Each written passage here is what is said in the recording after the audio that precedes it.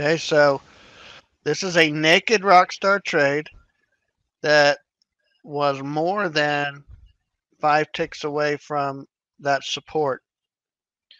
Now, it backed up to being closer to that support and it's still showing divergence. So I bought it as backed up,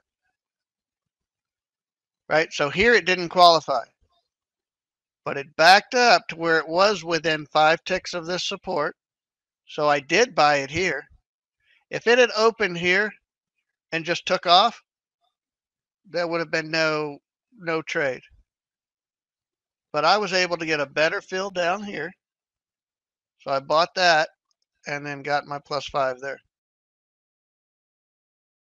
Interested in trading this as a speed tick or anything? Uh, oh, well, rock star. Shoot. Was a rock star.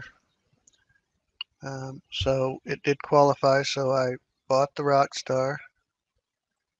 Uh, and that was on CO.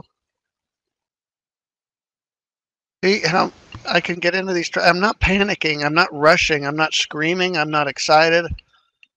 You do have time. Yes, this happens in a hurry, but you don't have to get in a panic. You just act deliberately when you see a setup. And more times than not, you can get a better fill. Why I don't hurry. If I don't, and it goes uh, in my favor, uh, and I didn't get the order on, it's all right. There'll be another bus coming down the road here a little bit.